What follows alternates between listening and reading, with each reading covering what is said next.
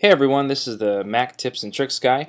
Today we're going to talk about uh, disabling certain Wi-Fi connections. I don't know about you, but sometimes uh, I have my home Wi-Fi, which is black box, and it's password protected, but sometimes it'll connect automatically to like, let's say, an open network, like whatever this is, large Pandaguest or Linksys. And it's really frustrating because you don't even realize that you've actually been connected to Linksys the whole time or, you know, a connection that's not yours.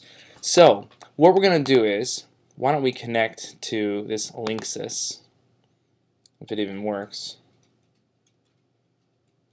Come on, come on.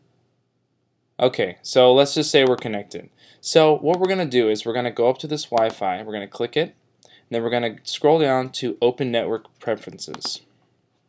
So click that. Looks like I am connected to Linksys now.